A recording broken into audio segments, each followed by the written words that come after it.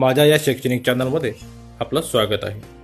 नेहमीप्रमाणे आपण अभ्यासणार आहोत टेन्समधला आणखीन एक प्रकार फ्युचर टेन्समधील महत्त्वाचा घटक फ्युचर परफेक्ट कंटिन्युअस टेन्स. थोडा कठीण आहे समजण्यासाठी थोडा मुश्किल आहे पण समजून घेऊया.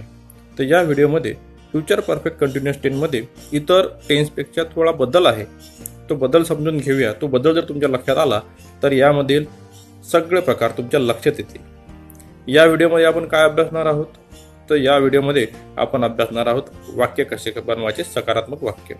तसेच नकारात्मक वाक्य आणि प्रश्न हे या व्हिडिओच्या माध्यमातून आपण अभ्यासणार आहोत. थोडं काळजीपूर्वक लक्ष द्या कारण घटक थोडा किचकट आहे. या सर्वांचा सुरुवात नेहमीप्रमाणे सब्जेक्टनं आपण करूया. कर्त्यानंच आपल्याला वाक्य तयार करायचे आहेत प्रश्न तयार करायचे आहेत. फर्स्ट पर्सन एक वचनी आय आणि एक वचनी वी. तर सेकंड पर्सनमध्ये यू जेव्हा तुमच्यासमोर एक असेल तर अनेक वचनीमध्ये सुद्धा यू जेव्हा तुमच्यापेक्षा तुमच्यासमोर एकपेक्षा जास्त आहे. थर्ड पर्सनमध्ये ही शी इट अबी एक नाव घेतलेलं आहे. तर अनेक वचन दे याचा आपण वापर करणार आहोत. या कर्त्यांचा वापर करून आपण या व्हिडिओमध्ये वाक्य बनवणार आहोत निगेटिव्ह सेंटेन्स बनवणार आहोत तसेच प्रश्नाची निर्मिती करणार आहोत. तर सुरुवात करूया आपण वाक्याने. फ्युचर परफेक्ट कंटिन्युअस टेनमध्ये वाक्य कशी बनवायची? त्यासाठी एक फॉर्म्युला आपण निवडलेला आहे. त्या फॉर्म्युल्याचा उपयोग करून आपण वाक्य बनवणार आहोत. फॉर्म्युला बघा सोपा आहे. नेहमीप्रमाणे सब्जेक्ट करता त्यानंतर टू बीचं रूप यामध्ये दोन टू बीचे रूप येणार आहेत. हा फरक आहे. ते तुम्हाला सांगायचं होतं की थोडं काळजीपूर्वक आपण समजून घेऊया की दोन टू बीचे रूप आपण वापरणार आहोत. त्यानंतर बिन येणार आहे. त्यानंतर क्रियापदाचं मूल रूप येणार आहे. त्याला आपण आय एन जी प्रत्यय लावणार आहोत. आणि आपलं नेहमीप्रमाणे शेवटी ऑब्जेक्ट तर हे आणखी सोप्या पद्धतीनं समजून घेण्यासाठी थोडा आपण चार्टवर विचार करू. कारण यामध्ये टू बीचे रूप दोन येणार आहेत.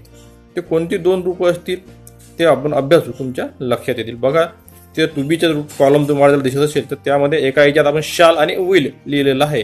तर दुसऱ्या याच्यात हॅव बीन असं लिहिलेलं आहे. म्हणजेच शाल विल हे टू बीचे रूप आणि हॅव हे दोन टू बीचे रूप आपण एक वेळ या वाक्यात वापरणार आहोत एकाच वेळी वापरणार आहोत. आय आणि वी नंतर ग्रामरच्या भाषेत शालच लागणार आहे. परंतु आता या नवीन मॉडर्न इंग्लिशमध्ये जास्त करून विलचा उपयोग हा सर्वांच्या समोर केला जातो. वाक्यबंधीन I we I shall have been going to home अशा प्रकारचं आपलं वाक्य असेल. They will have been going to home म्हणजे क्रियापद विल त्यानंतर दुसरं सहाय्यकारी क्रियापद हॅव हे वाक्यामध्ये असणार त्यानंतर बिन लागणार आहे. परंतु जेव्हा आपण आता फक्त समजून घ्यायच्यात वाक्य कसे बनवायचे म्हणून फोकस आपण फक्त विल या टू रूपाचा घेणार आहोत. वाक्य बनणार आहे आपण I will have been going to home they will have been going to home अशा प्रकारची भरपूर वाक्य तयार होतील. इथं काही वाक्य आपण लिहिलेले आहेत. प्रथम करता जो आहे आपला प्रथम पुरुष आय आणि वी शालचा उपयोग करून आपण वाक्य केलेले आहेत. आय शाल वी शाल तसेच आय विल आणि वी विल याचा उपयोग करून काही वाक्य आपण तुम्हाला करून दाखवलेली आहेत. तसंच सेकंड पर्सन आणि थर्ड पर्सन जेव्हा वाक्यात येतात तेव्हा you will have been going to school they will have been going to school he will have been going to school she will have been going to school म्हणजे करता कुठलाही घ्या त्यानंतर will have been going to school असे भरपूर वाक्य तुम्ही तयार करू शकता. कुणाचं नाव जर तुम्ही घेतलं तरीही तुम्ही भरपूर वाक्य त्यामध्ये बनवू शकता. हा घटक जर तुमच्या लक्षात आला असेल तर भरपूर वाक्य बनवा. त्यानंतर बोलूया आपण नकारात्मक वाक्यांकडे. पर फ्युचर परफेक्ट कंटिन्युअस टेन्समध्ये नकारात्मक वाक्य कसे बनवायचे ते बघूया. त्यासाठी एक फॉर्म्युला आहे छोटा फॉर्म्युला आहे समजून घ्या. थोडा बदल आहे. तो लक्षात आला तर वाक्य बनवणं अतिशय सोपं होतील. सुरुवातलाच आपला सब्जेक्ट नेहमीप्रमाणे आलेला आहे. त्यानंतर टू बीचं रूप. या ठिकाणी टू बीचं रूप घेणार आहोत आपण विल हेच वापरणार आहोत. कर्त्याच्या नंतर. त्यानंतर त्या टू बीच्या रूपाला आपण लावणार आहोत नॉट लगेचच. लॉट लावल्यानंतर परत टू बी रूप येणार आहे. या ठिकाणी आपण हॅव हे घेणार आहोत. त्यानंतर बिन हॅव बिन असं आपण वाक्यात लिहिणार. त्यानंतर नेहमीप्रमाणात क्रियापदाचं मूळ रूप त्याला I N G plus object अशा प्रकारचे आपला फॉर्म्युला तयार होईल. या फॉर्म्युल्याचा उपयोग करून आपण वाक्य बनवणार आहोत. सब्जेक्ट प्लस टू बी रूप plus not plus to be रूप म्हणजे हॅव बिन व्हर्बला आय एन जी आणि ऑब्जेक्ट हे आणखी सोपं आणि समजायला सरळ जावं म्हणून आपण हा चार्ट बनवला. तुमच्या समोर तो दिसत आहे. सगळे करते आपण एका ठिकाणी घेतलेले आहेत. त्यानंतर विल त्यालाच नॉट लावलेला आहे. विलच्या नंतर त्यानंतर have been going to home अशा प्रकारे तुम्ही भरपूर कर्त्याचा या कर्त्याचा उपयोग करून भरपूर वाक्य तुम्ही बनवू शकता. काही वाक्य आपण तुम्हाला या ठिकाणी ठिकाणी नमुन्या दाखल तयार करून दाखवलेले आहेत. ते बघूया ते वाक्य कुठले आहेत. I will not have been playing cricket या ठिकाणी आपण जो व्हर्ब आहे ते बदललं. We will not have been playing cricket you will not have been playing cricket they will not have been playing cricket या प्रकारानुसार आपण वाक्य लिहिले.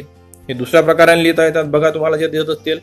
He won't have been playing cricket म्हणजे विल ला नॉट लागलं शॉर्ट फॉर्म झालं तर ओंट झालं. अशा प्रकारे शी ओंट अभि ओंट बॉईज ओंट अशी भरपूर नकारात्मक वाक्य तुम्ही दोन्ही प्रकारानुसार लिहू शकता. म्हणजे विल नॉट पण आणि ओन सुद्धा तर हे समजलं असेल तर आपण वळूया तिसऱ्या घटकाकडे. म्हणजे फ्युचर परफेक्ट कंटिन्युअस टेन्समध्ये आपल्याला प्रश्न कसे तयार करायचे आहेत ते बघूया. त्यासाठी कुठला फॉर्म्युला आहे तो थोडा लक्षात घेतला तर प्रश्न बनवणं सोपं होतील. फॉर्म्युला नेहमीप्रमाणेच टू बीचं रूप सुरुवातला. परत सांगतो टू बीचं रूप या ठिकाणी विल फ्युचर टेन्स आहे म्हणून विल सुरुवातला. त्यानंतर सब्जेक्ट आपला करता येणार आहे.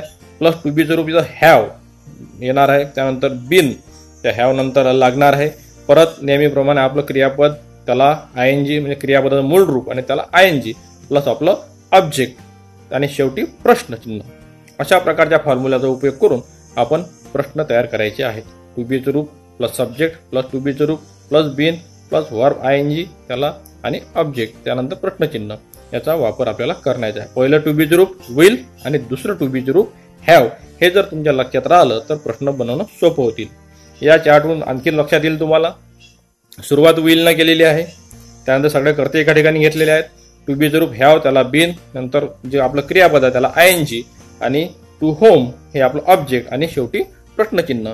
Will I have been going to home will you have been going to home अशा प्रकारचे वाक्य तुम्हाला या चार्टवरून बनवता येतील. भरपूर वाक्याचा सराव तुम्हाला अगदी सोप्या पद्धतीनं समजून घेण्यासाठी होऊ शकतो. आपण काही क्रियापद बदललं आणि वाक्य बनवून आहेत बघा. Will I have been playing cricket will he have been playing cricket will you have been playing cricket will they have been playing cricket म्हणजे तुम्ही करता बदला वाक्यातलं क्रियापद बदला भरपूर वाक्य असे तुम्ही या फॉर्म्युल्याचा उपयोग करून तयार करू शकता. सकारात्मक वाक्य तयार करू शकता नकारात्मक वाक्य तयार करू शकता सोबतच प्रश्नसुद्धा तयार करू शकता. या व्हिडिओ तुम्हाला आवडला असल्यास माझा हा व्हिडिओ लाईक करा शेअर करा आणि सर्वात महत्त्वाचं माझं चॅनल सबस्क्राईब करा. म्हणजे माझे सर्व व्हिडिओ तुम्हाला लवकर दिसतील. पुन्हा लवकरच भेटूया नवीन व्हिडिओसोबत तोवर धन्यवाद.